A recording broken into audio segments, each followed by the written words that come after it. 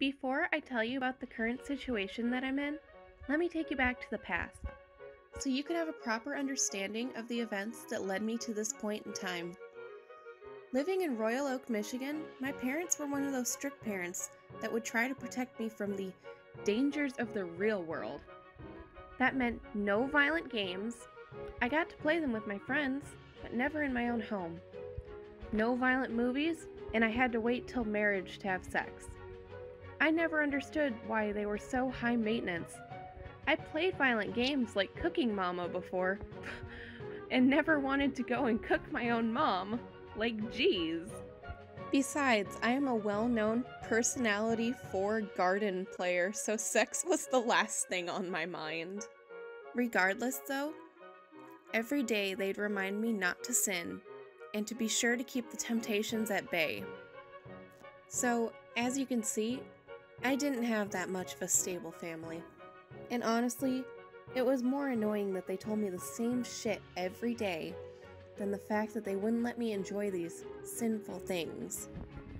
I'd rather listen to my friend Sam cry about how the cashier gave her her latte one microsecond late than hear another lesson from my parents. But that's just me. Anyway, as they were getting ready to lecture me yet again, we got a call from the town sheriff that my friends Sam, Ted, and Bruce have gone missing. Apparently, they went to a remote cabin in the woods to film their movie, Kind Living, and no one had heard from them ever since. Hearing the terrible news about something possibly bad happening to them, my parents continued to lecture me about the birds and the bees. After that whole TED presentation about doing the nasty was over, we got up to get changed so that we could join the locals with the research of my boys. My parents stopped me and told me not to go outside and just wait for them. I tried to object, but they told me to shut the fuck up, and I said okay. I went back to my room and looked out the window and waited for them to get into the car and drive to the forest. As I was doing my daily rituals in my room, giggity, I had an idea. I'd never went in my parents' room before and thought that this would be the one chance I'd get to see what they have hidden in their room. I got up, hid my semen sock under the bed, and marched towards my parents' room. Why did you want a girl narrating this? I started to breathe heavily as I turned the knob, if you know what I mean, and opened the door to my parents' inner sanctum. I gasped as I saw their room was normal. Nothing out of place or anything strange about it. I sighed as I turned around and walked towards the door. As I did, however, I slipped on a bra and fell. As I cursed myself for falling into an obvious booby trap, I tried to get up and put my hand over the shelf for support. Suddenly, I heard something that sounded like an unlocking sound. I looked around confused, trying to find out what has changed in the room, and I realized that there was a secret entrance leading up to the attic. I didn't know our attic was this big. There already wasn't enough room to move around in the first place, so maybe this secret part of the attic was the reason for that. I went to the attic, and to my shock and disappointment, there was nothing.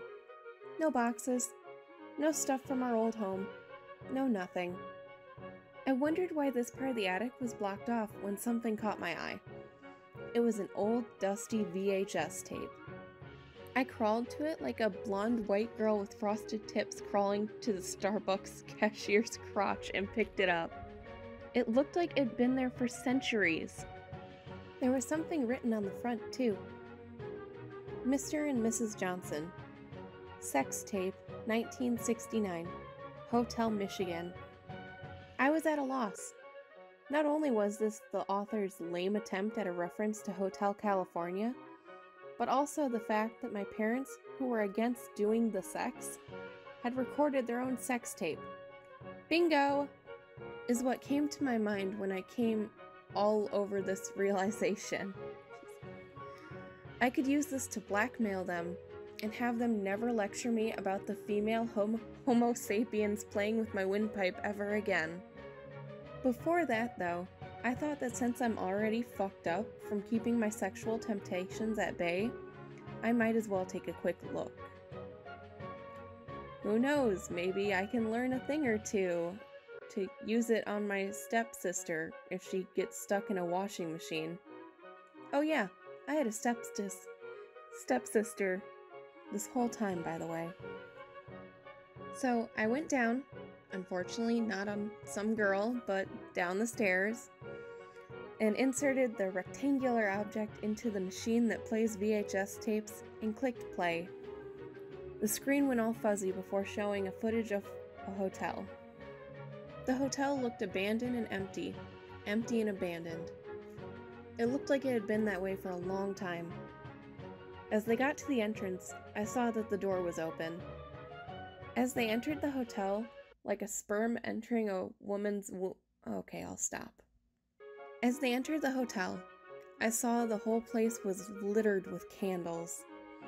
I got a bad feeling about what I was seeing. My first thought was that maybe my parents were in a cult? Were they the people who were recording this footage?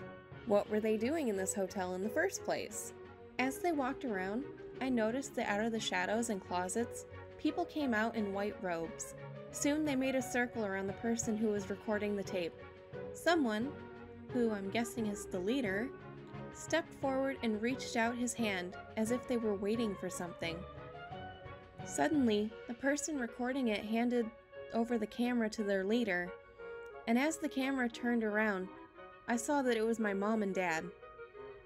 My jaw hit the floor like a Tetris block falling from the sky and into the ground as they got on their knees and the people came closer and closer before sitting on their back and lifting their feet up.